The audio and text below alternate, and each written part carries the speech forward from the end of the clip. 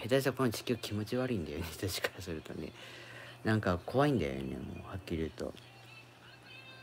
で外の議員の看板つけてる工作住民とかそこにおるんじゃない？リスナーにおらん？あのそういうのもやっぱりね世の中からいなくなった方がいい。はっきり言うと。迷惑や。あの工作住民がいるせいであのサブリミナルの議員の看板が立てて洗脳してるよね。朝学校行くよとか学校行く時に政治家の看板見て学校行くとおかしいもんね。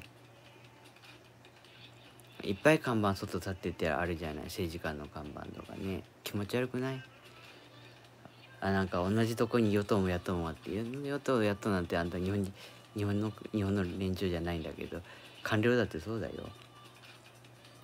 でみんなのみんながいる1位は一番下っ端なんでうちなんかもね。ほんでその次に政治家がいてるわけだから、まあ、その上にその上に何だ、えー、大企業がいると。あこっちは一番下っ端だけど政治家はそんなに上じゃなくて下から2番目だということになるわけよね。でなかなか人口削減がうまくいかないから焦ってたんだよねはっきり言うと知ってたけど。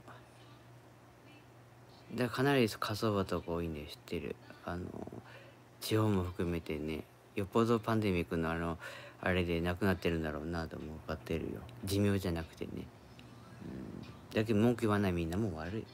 たまたま今日来てるからああそうだっていうだけの人でしょ。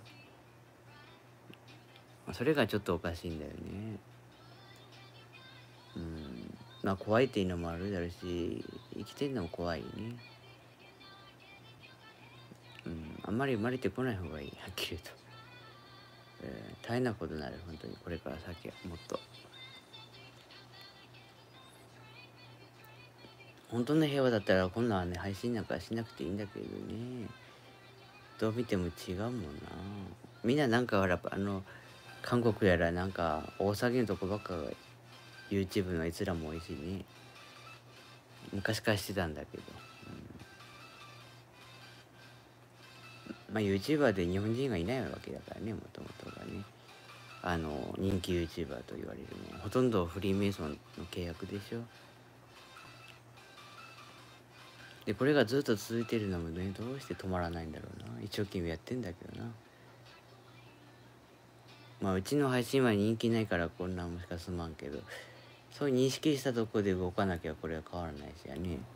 おとなしく「そうですか」ってだって。本当にどうしようもないよな。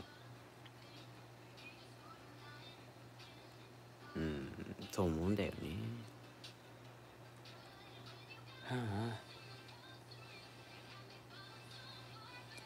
いつだったら変わるんかな。うん。だからなんかね人に会うのも疲れてるしね。まあこのまま私も消えていくんかね。まあ、戦う時があればみんなと一緒に戦えばいいだろうしね。出ていかなきゃならんけど、まあ、みんなやる気がなかったらもうこのまま消えていくしかないわけだけど しょうがないもんな。だって一人でどうにかできるわけないし。大人数なないと、あ、やつらは普通じゃないからやっぱり化け物だからね。うん、うん、まあそんな感じになるよね。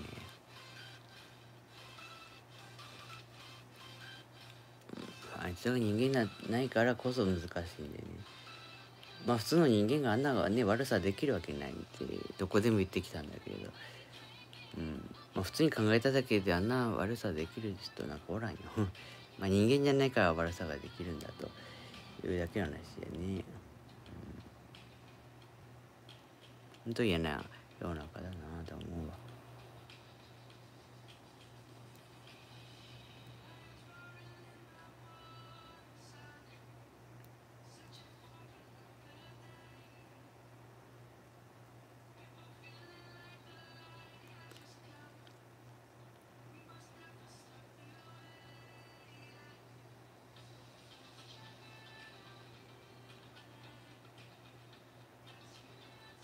まあ、配信はこんな感じかな。まあ、つけっぱなしということで、ちょっとジュースを持ってこよう。ただ何もやってないけど、いろいろ考えるね、ちょっと悩んでることがいっぱいあるからね。